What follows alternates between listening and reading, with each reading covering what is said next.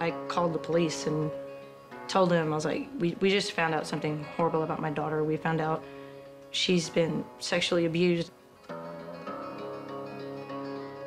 On July the 8th, we met with John Napier at his residence and arrested him for that offense.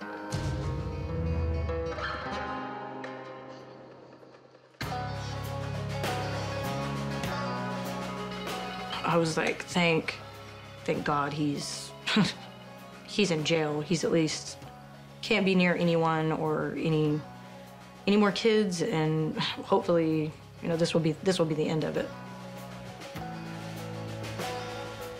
A few days after being arrested, John Napier was able to make bond.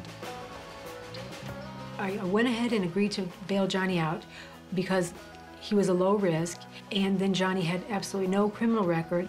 I, I don't even think he had a speeding ticket.